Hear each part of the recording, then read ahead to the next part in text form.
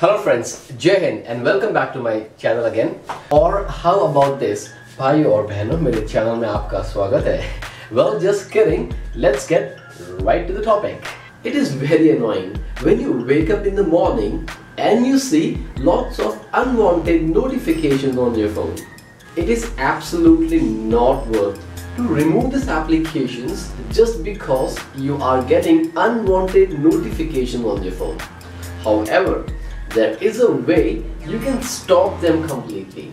The moment you get such notification, you have to long press the notification. Once you long press it, tap on app info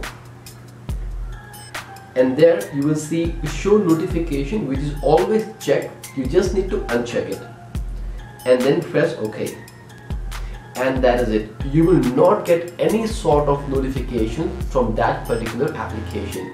Do this for all the applications you're getting annoyed with and the job is done.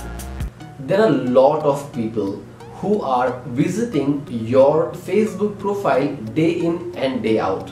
However you cannot find out who has visited your Facebook profile. However I had come up with a solution by which you can yourself find out who has visited your Facebook profile recently.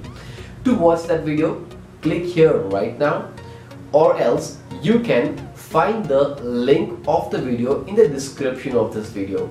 Share this video to your friends and subscribe to my channel for more videos like this. And I will see you in the next video. Peace.